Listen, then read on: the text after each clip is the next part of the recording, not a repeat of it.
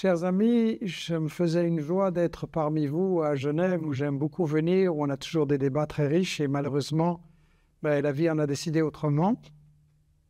Un accident soudain, un deuil dans la famille, il faut que je retourne là-bas.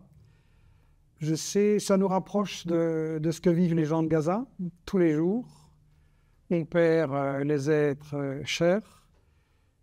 Et je sais que les autres intervenants du panel très riche ce soir rassemblé par notre ami Dari vous diront très très bien l'horreur de ce qui se passe à Gaza et en même temps le courage de ce peuple qui résiste. Et donc la question qui sort de tout ça, c'est que faisons-nous? Je pense que le mouvement de solidarité avec la Palestine doit passer à une étape supérieure les manifestations, les petits boycotts, c'est bien, mais il faut des actions radicales. Je pense qu'il faudrait boycotter McDo, Starbucks, Carrefour, toute une série de complices directs du génocide, puisque ces gens-là font ça pour le portefeuille, il faut les toucher au portefeuille. Mais je pense que pour avoir beaucoup plus de gens qui vont organiser ces actions de boycott et y participer, l'info reste la toute première bataille.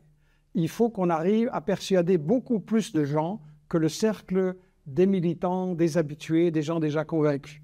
Investigation a lancé Télé-Palestine et c'est vraiment euh, tombé au bon moment, si j'ose dire, de donner la parole aux Palestiniens et de contredire le discours de la propagande de guerre. Mais la bataille de l'info, elle ne fait que commencer. On a quelque chose qui est très encourageant aux États-Unis, c'est-à-dire que des journalistes de New York Times, donc le quotidien le plus prestigieux, le plus influent, le plus copié dans le monde, des journalistes de New York Times ont lancé une bagarre à l'intérieur en disant que la ligne éditoriale de leur journal mentait et ils l'ont prouvé. Les directeurs du New York Times interdisent à leurs journalistes de parler de massacre quand on parle des Palestiniens. Sur les Israéliens, on peut employer le mot. Ils interdisent de parler de génocide. Ils interdisent même de donner le mot Palestine. Bref, il y a toute une information qui recopie le discours d'Israël. C'est une protestation qui montre que même dans les médias dominants, on est arrivé à, une impasse, à un discrédit, mais euh, la couverture du New York Times continue comme avant, rien n'a changé.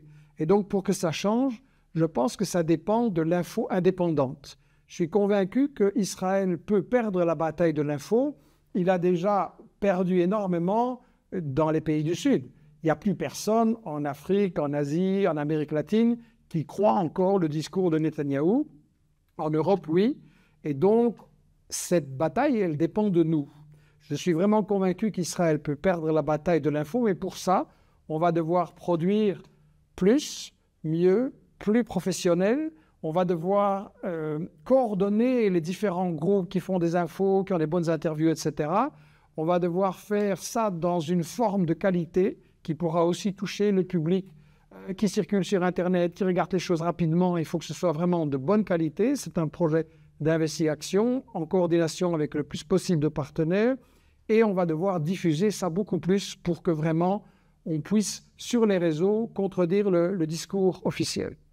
Les, les Palestiniens, ils se battent pas seulement pour eux. En fait, ils nous défendent, nous aussi. Les Palestiniens sont en train d'exposer au monde entier que les États-Unis et l'Europe ont des belles paroles, mais que dans la réalité, ils soutiennent des génocidaires qui tuent des femmes et des enfants et qu'ils continuent à les armer malgré les protestations.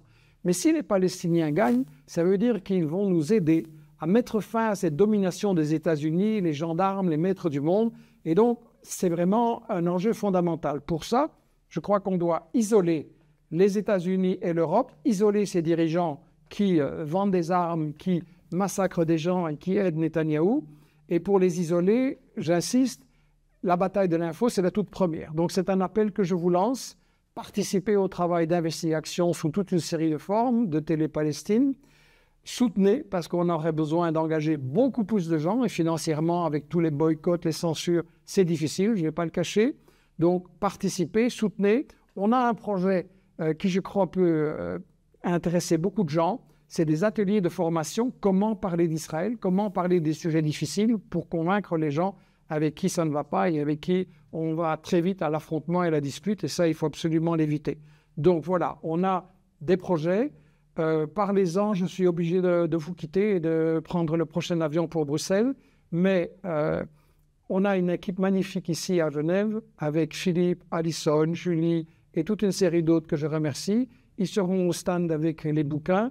Ils seront au stand aussi pour accueillir ceux qui veulent nous aider en devenant donateurs d'investigation et en nous aidant dans notre travail. Et je suis à la fois triste et heureux de voir qu'il y aura tellement de gens prêts à se battre pour la vérité, prêts à se battre pour la solidarité. Et je pense qu'avec vous, on pourra gagner cette bataille. Palestine vaincra. Merci.